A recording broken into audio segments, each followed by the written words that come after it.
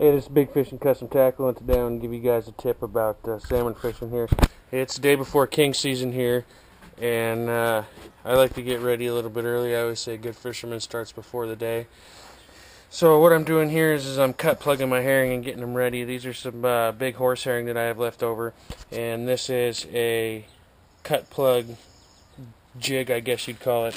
What I've done is, is I've taken it and I put Velcro on the bottom of it on the on the bottom, taking this old cutting board here, and I put some Velcro on my knife, and just a quick little bait station for in your boat.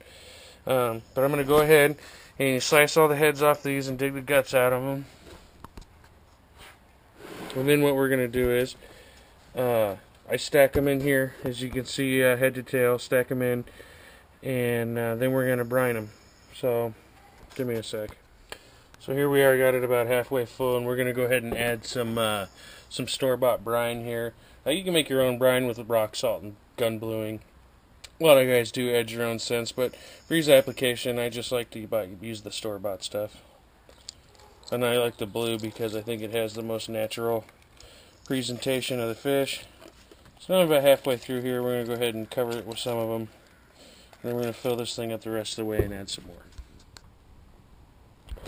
Alright, so now we've gotten uh, all their heads cut off and guts dug out of most of them. Some I missed, but you can do that on the water also. Um, so now we're going to go ahead and add this.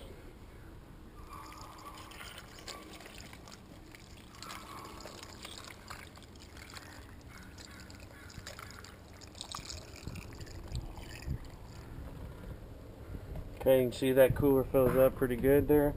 I got this cooler at uh, thrift store for a couple of bucks and uh, it's going to do its duty. I'm going to cover this with ice, put this in the fridge, and then tomorrow when I get up ready to rock and roll, he's going to be nice and brined and uh, bright shiny blue and ready to rock and roll. So, anyways, Bigfishin' Custom Tackle signing off, and uh, keep your rods in the water, and good luck tomorrow, guys.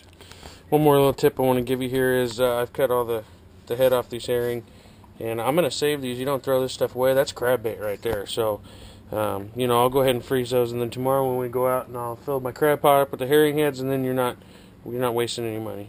So, uh, anyways, like I said, keep your rods in the water. Good luck.